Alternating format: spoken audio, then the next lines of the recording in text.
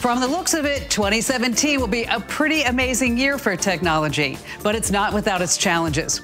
Kim Komando here reporting for USA Today. Here are my top three most infuriating tech problems. First, not knowing how to download Netflix videos. The video streaming service is hustling to keep up with the industry it helped create. And finally, it's letting customers download movies right onto their devices. Check out my weekly column for all the detailed directions on how to do this. The second most infuriating problem weak router security. You think you're safe. You use an encrypted server, use complicated passwords, and you change them all the time. So there's nothing to worry about, right? Well, that'd be wrong. Too many people forget about their router. There's a checklist to make sure that your router is secure in my weekly column. My third most infuriating tech problem talking about poor cell signals right inside your house.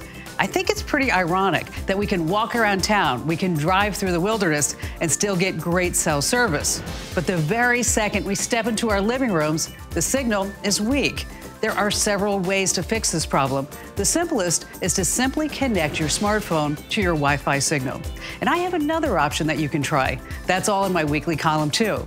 I'm Kim Komando. You can find my national radio show on over 400 top stations from coast to coast. And to find the station nearest you, head over to komando.com slash radio. And be sure to share this video online with all your family members and friends. They need to know this stuff, too. And thank you for watching.